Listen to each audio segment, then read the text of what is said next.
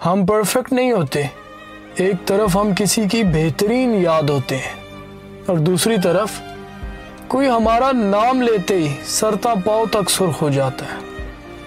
कोई हमारी कुर्बत के लिए तरसता है तो कोई कोई हमारे साय से भी दूर रहना चाहता है। हम किसी के लिए एक मिसाल, और किसी के लिए एक सबक होते हैं।